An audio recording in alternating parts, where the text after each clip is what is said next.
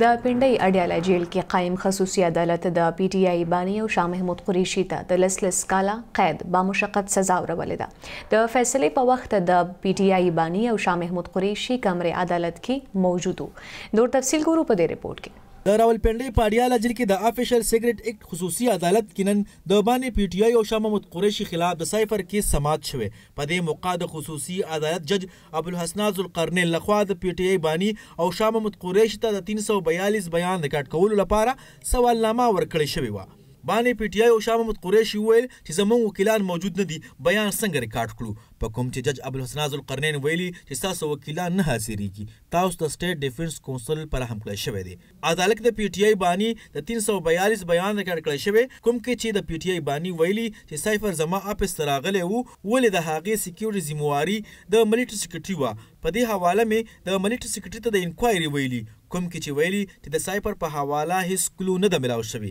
عدالت د بیان ریکارډ کولو او مختصر سماعت وروسته د پي ټي آی باني او شاه محمود قریشي ته د لس لس کاله قید با مشقت سزا اورولې ده. خصوصي عدالت کې د فیصلې اورولو په وخت د باني پي ټي آی خویندې، د شاه محمود قریشي د کورنۍ غړي، د میډیا نمایندګان په کمره عدالت کې موجود و.